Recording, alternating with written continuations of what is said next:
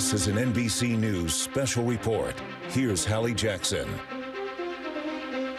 Good day. We are coming on the air with breaking news and the first public appearance from Vice President Kamala Harris since President Biden dropped out of the presidential race less than 24 hours ago and endorsed her to become the next Democratic nominee. You are taking a live look now at the South Lawn of the White House. The vice president is set to speak at an event that's been on the books to celebrate NCAA athletes. And sources tell our team the vice president is expected to speak about the president and his decision to withdraw from the ticket. Now, remember, this is not official. It is not a guarantee that Harris will take the top of the Democratic ticket. But a number of influential Democrats, although not all of them, have moved quickly to endorse her, including potential running mates. I want to bring in our senior White House correspondent, Kelly O'Donnell, who is there at the White House. Kelly, bring us up to speed. What do we expect from the vice president today? Well, we're here on the South Lawn, and the reason for the event is to celebrate college athletes. So the celebratory tone might be a metaphor as the vice president will be coming out to address them, pinch hitting for the president who has COVID. This is an annual event.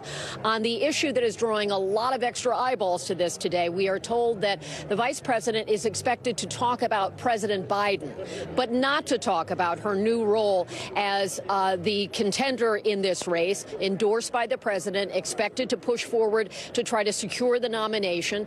And so, in many ways, what we're watching is that the team around Harris, both on the campaign side and at the White House, are trying to choreograph things in a measured way, giving the president his moment, his time, and at the same, uh, in, in the same breath, also making certain that she is stepping up, being a good and loyal partner. So this is one of the roles that she would play to stand in for him while he has COVID. He's still in Delaware. Officials tell us that the president is eager to get back to Washington. Timeline on that, dependent to a certain degree on what the doctor says. And of course, they are planning for a national address from the president explaining his decision to step aside in the race, but to complete his term through January 2025. So more on that as we learn it, based on his condition, based on his readiness to come back. From the vice president, she has been working the phones, having spoken to the president multiple times, but also seemingly every leading Democrat in the country. She has put out dozens and dozens of phone calls, connecting herself to members of the party to ask for their support, to say she wants to earn this nomination. So here, there is a real celebration for these college athletes who have been planning to be here, who have their moment. That moment will happen, but many of us will be watching this to see how the vice president handles it now that she is in a new arena and competing in a new way. Hallie? Kelly, you talk about the desire to give President Biden some space to have his moment, as you say. We expect him to deliver his own address to the nation at some point this coming week. The complicating factor, of course, is that he's back in Delaware recovering from COVID. Do we have any sense of a timeline for when we might hear from the president? Well, we think it could be midweek, but it is a case by case moment. I've been told he wants to try to get back tomorrow.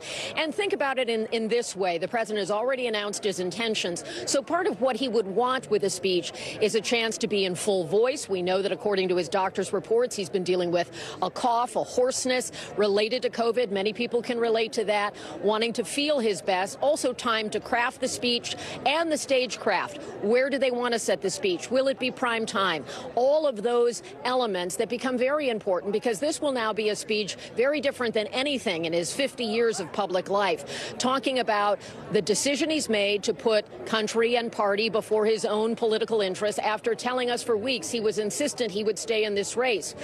I can also tell you from being on campus here today, Hallie, talking with a number of people who work for the administration, a sense of just how out of body this moment is for them. They work for the president.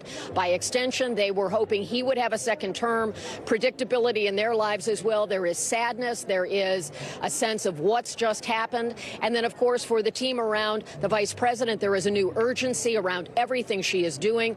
By its very nature, the vice president's team is much smaller than the president's team, trying to work together to knit these teams together on the official side here at the White House as well as at the campaign will be part of what plays out now. They are certainly encouraged by the fact there has been so much support coming from the grassroots of the party, from elected Democrats toward Kamala Harris. At the same time, we know that there is an actual process involving the delegates of the party, lots of steps to go through to try to, with just about 100 days till the election, knit this together to have a new uh, leader of the campaign, at least from the Biden Harris side. Will there be anyone challenging her for that position? They've had to change the logo, they've had to change the list, and things are changing in increments, big and small, and certainly a lot of new pressure on the vice president, even to do something like this which for politicians could be the kind of event they can do sleepwalking, uh, a happy event for uh, celebrating athletes. That's something that they've all done in various levels of government. And now she's going to do that knowing that the eyes of the country and the world are watching her not as the sitting vice president, but as the emerging uh, standard bearer of the party with the president's endorsement that she carry on. Hallie? Kelly O'Donnell there on the south lawn of the White House. You are looking on the left side of your screen at that live look at the White House South Lawn, where we expect to see Vice President Kamala Harris any minute for those remarks, presumably briefly on President Biden before addressing the college athletes that have assembled there. Let me bring in Ryan Nobles on Capitol Hill. And Ryan, to the point that Kelly is making, some key questions for the party moving forward. First of all, would anybody seek to challenge Kamala Harris for the top of the Democratic ticket? And second, who might her running mate be? It seems as though the party has moved quickly around her to endorse her, although it is not a done deal yet. And we are still waiting to hear from, for example, top Senate Democrat Chuck Schumer, former Speaker of the House Nancy Pelosi, on the running mate front, it's interesting because all the folks that have been speculated about on that short list, uh, for the most part, have now come out and said they back Kamala Harris to take that nomination. Yeah, also former uh, President Barack Obama has yet to weigh in uh, as someone who's endorsing Kamala Harris as well. That's a name that's still out there. And I do think that Democrats are wrestling with this idea of unif unifying as quickly as possible while at the same time not making it appear as though this is a coronation for Kamala Harris. They would like to see a bit of an open competition, uh, a democratic process, because this is so unique. This is such an unconventional situation that we find ourselves in. Uh, but it doesn't look like that may materialize. There just is not another person willing to raise their hand to take on Kamala Harris, especially because she appears to have really consolidated the support of the Democratic Party. Uh, it seems like every few minutes we have to check our email and phones to find another member of the Democratic establishment that is endorsing her campaign. Uh, and so I think that will make it difficult for another candidate to emerge. We saw Joe Manchin of West Virginia very briefly flirt with the idea of challenging uh, or at least uh, putting his hat into the ring and then quickly backing away, but still calling for an open process. You know, uh, Hallie, I think what we're about to see play out here on the South Lawn is something that the Democrats that I've talked to are yearning for. They really believe that Kamala Harris excels in settings like these. And they believe that, you know, when you're the vice president, you only have a, a very few opportunities to be at center stage. You are really a, a supporting character uh, when it comes to the administration and its work. Uh, and they believe that she has the ability and the goods, if you will, to stand on her own two feet and, and be a star in the Democratic Party. She just needed that opportunity. And I, that's part of the reason why you see so many of these uh, Democrats rallying around her uh, candidacy and doing it so quickly because uh, they believe that she has what it takes to take on Donald Trump and beat him in November.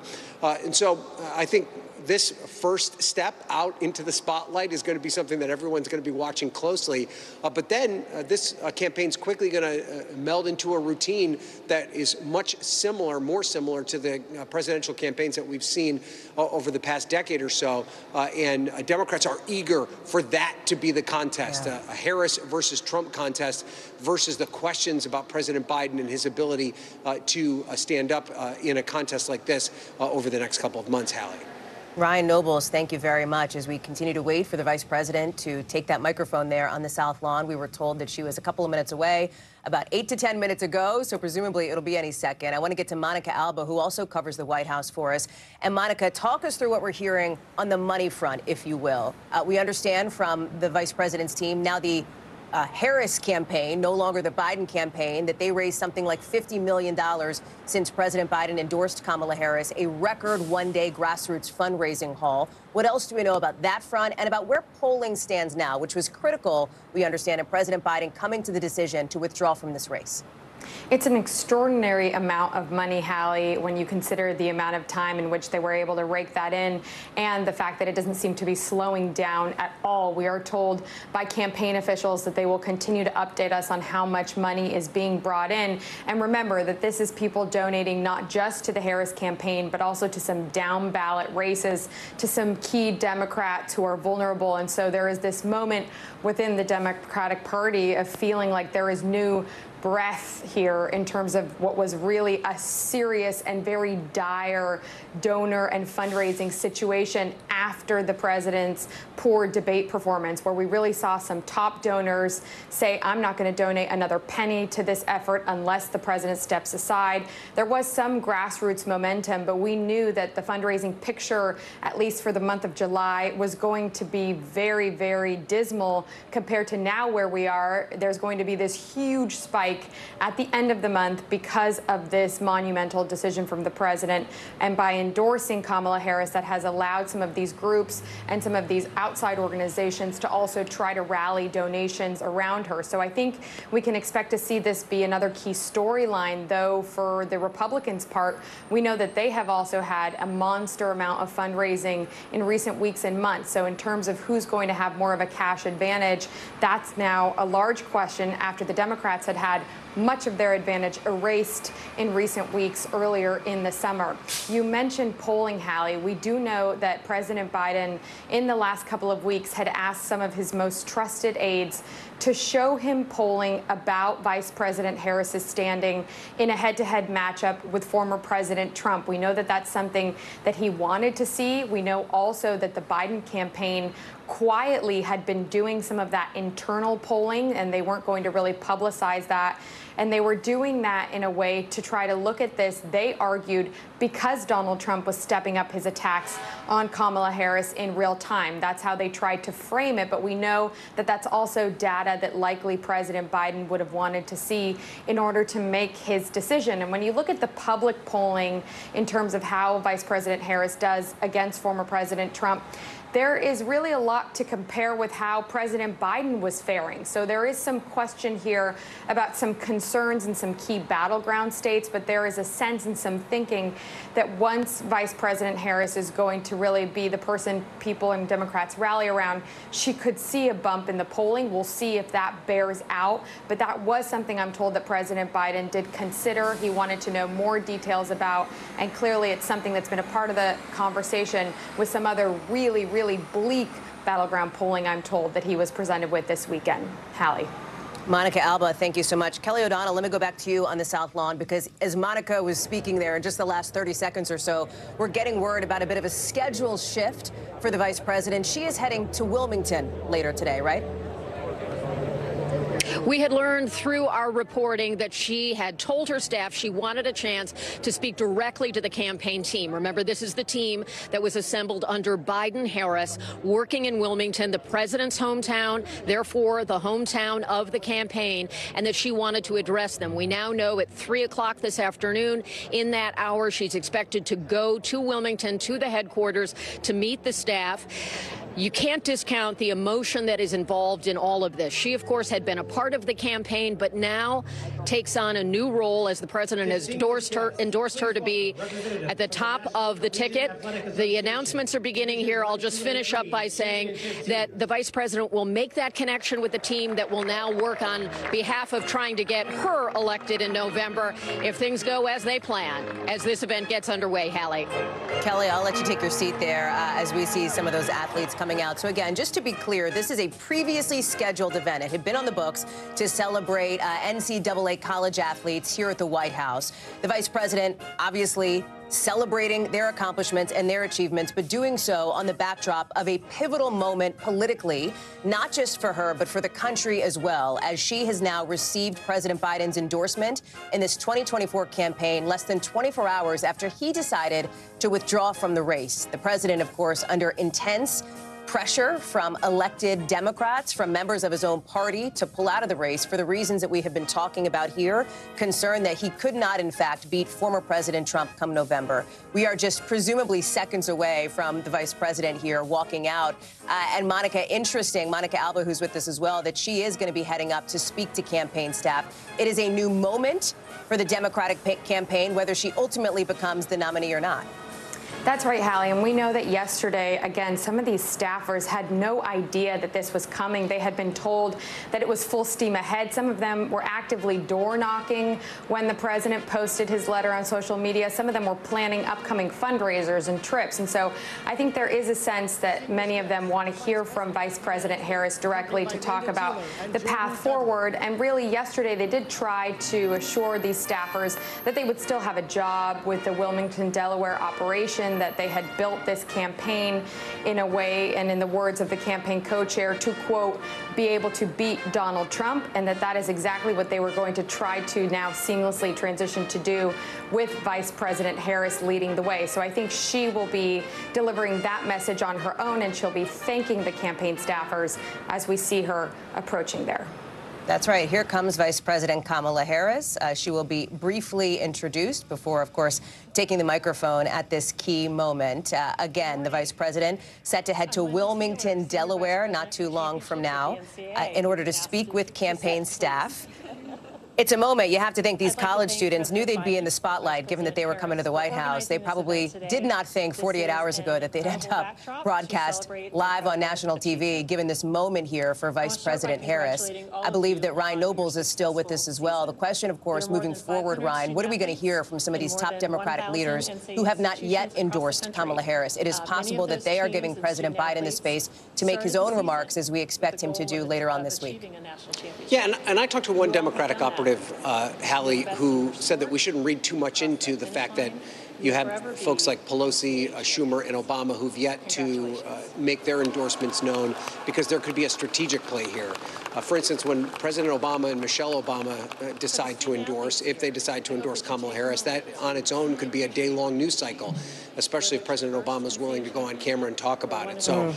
You know, I, I, don't think that we should read into it that there's any uh, kind of reluctance on behalf of any of these leaders to step up and endorse Kamala Harris, but there could be uh, more of a strategic plan here. And, and I also do think that there is a real concern and an angst among Democrats uh, that uh, that this process uh, plays itself out too quickly, uh, and that it looks as though no one else was given the opportunity to, to raise their hand and get involved in this race. Democrats are struggling right now here, Hallie, because They've spent three weeks kind of at each other's throats. Uh, there's been a back and forth over whether or not uh, President Biden should exit the race. There have been obviously some strong voices that were in the camp that he should stay in and hold on. There were strong voices saying that he should step aside. There was also a large group of Democrats who just didn't know what the path forward would be.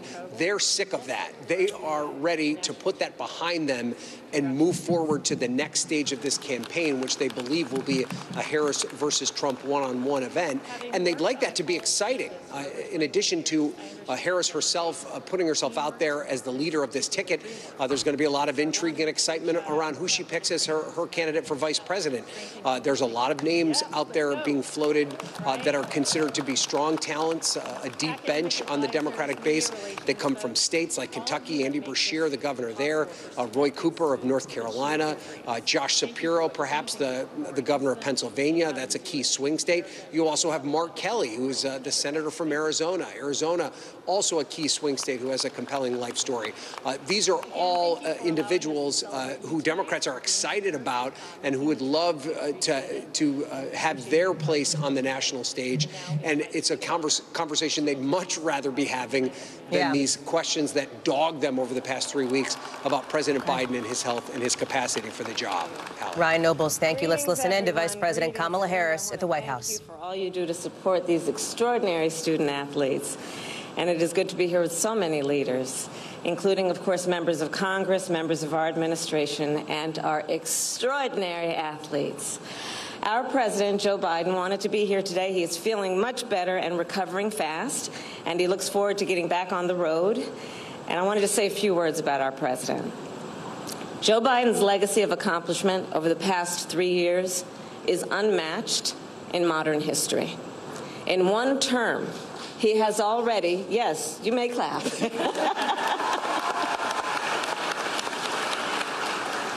In one term, he has already surpassed the legacy of most presidents who have served two terms in office. And I first came to know President Biden through his son, Beau.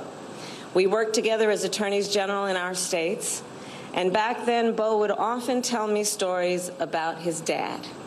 He would talk about the kind of father and the kind of man that Joe Biden is. The qualities that Beau revered in his father are the same qualities that I have seen every day in our president his honesty, his integrity, his commitment to his faith and his family, his big heart, and his love, deep love of our country. And I am firsthand witness that every day our President Joe Biden fights for the American people, and we are deeply, deeply grateful for his service to our nation.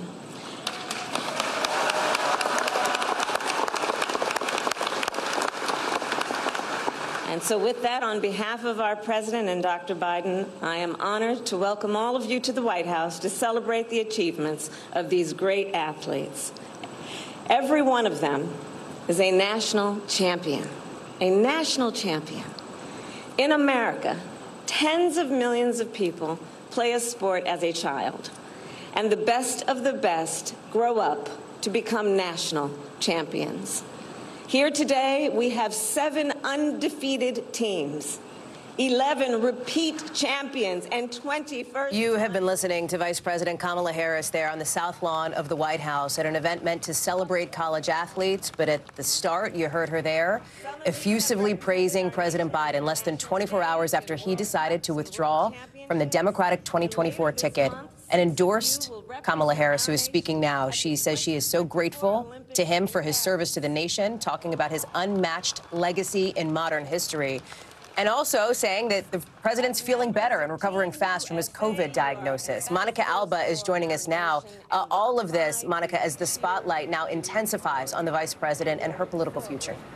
Yeah, and I was struck, Hallie, that she decided in those short comments about President Biden to talk about his late son, Beau Biden, and the fact that Vice President Harris did have a working relationship as former attorneys general years ago before he passed away from brain cancer. And she specifically wanted to talk about the way that Beau Biden talked about his father in terms of the human being that he was, the man that he is. And I think she really wanted to take a moment there, it seemed, to personalize that for the country and to try to approach this huge, monumental decision a little bit more as a human being and what it would have meant for him to have done that and what it means for the country, as she did allude to his years of public service and his leadership as well. But we know from our reporting that the vice president didn't want to speak about that too much at this event. She wanted to kind of give it a nod at the top and then focus on what this NCAA championship event is supposed to be about, which is commending these student athletes.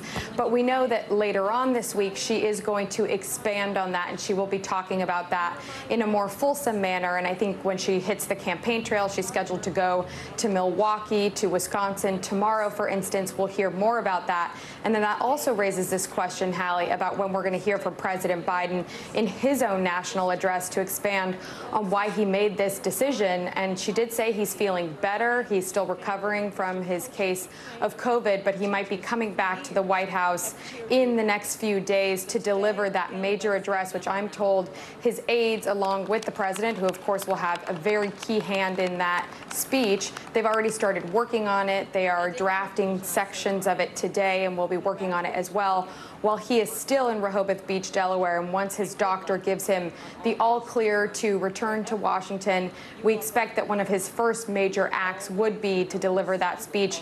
We believe from the White House, though I'm told by several officials that the exact venue, the exact format, length, and timing is still a bit up in the air depending on his health. But I think there is this also larger question about just how we're going to see Vice President Harris now in this newer role. And I'm told that she's going to be doing things like she's doing today, which is some things that President Biden would have been doing as well. She is anticipated to be meeting in addition to the president, at some point this week with Israeli Prime Minister Benjamin Netanyahu, who's coming to Washington for a couple of days. And so I think we're going to see both the president and the vice president in these engagements in the official capacity because that is still the day job, while now Vice President Harris is going to hit the trail as the potential nominee.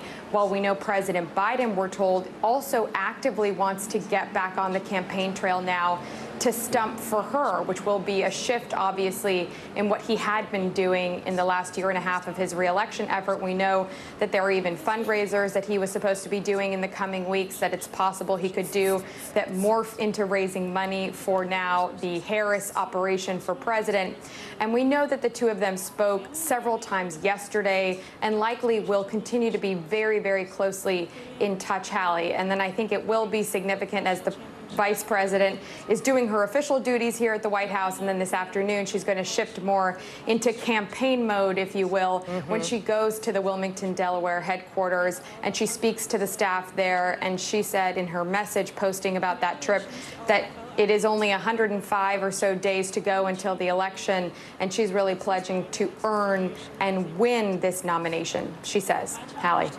Monica Alba outside the White House. Of course, Republicans are now facing the prospect of a new political opponent for former President Trump and his new running mate, Ohio Senator J.D. Vance. NBC's Vaughn Hilliard covers the Trump campaign. Senator Vance has his first uh, solo rally today, Vaughn. And based on my reporting, it seems as though the Trump campaign will go after Vice President Harris in a couple of ways, lashing her, they intend to, to the Biden agenda, and going after her record in California politics as well.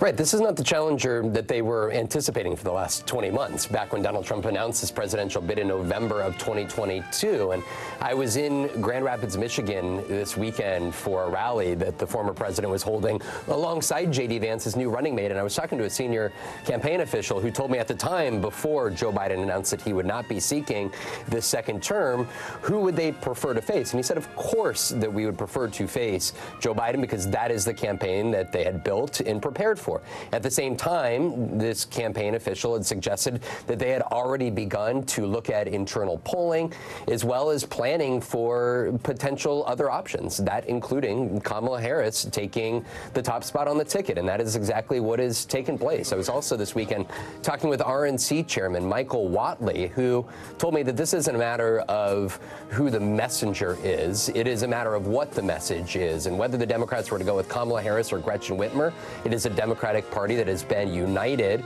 in the last three and a half years. And for the Trump campaign, you should expect to see them continue to tie Kamala Harris directly to the efforts of the Biden administration in its entirety, but also the fact that she was uh, uh appointed to be the so-called border czar by the Biden administration. And there have been a record number of immigrants that have made their way across the U.S.-Mexico border over the course of the last three and a half years. And so these are some of the uh, when Kamala Harris gets further under the microscope, some of those questions will yeah. be, of course, put to her. And the other part of this is whether there will be a presidential debate between Donald Trump and Kamala Harris. And just last night, Jason Miller, a senior advisor to Donald Trump, suggested that Donald Trump was prepared to, in fact, debate her. And on social media, Donald Trump had suggested that he may want to change the venue, the TV news network that would be hosting it, suggesting that it should be potentially Fox that hosts it. At the same time, I'm told that it is a matter of whether it could be